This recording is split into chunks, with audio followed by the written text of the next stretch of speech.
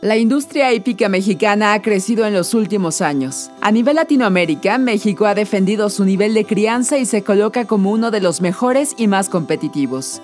Su historia inicia el 6 de marzo de 1943, cuando el entonces presidente Manuel Ávila Camacho inaugura el proyecto del italiano Bruno Pagliai, la idea de construir un hipódromo conquistó al presidente Ávila Camacho, quien en un terreno de 60 hectáreas, propiedad de la Secretaría de la Defensa Nacional, cumplía el sueño de Paleay.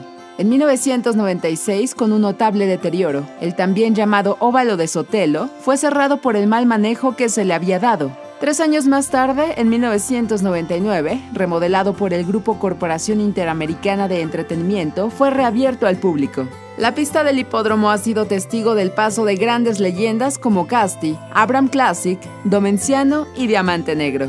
Con 73 años, el Hipódromo de las Américas es el escenario del deporte ecuestre, la charrería y el hipismo nacional.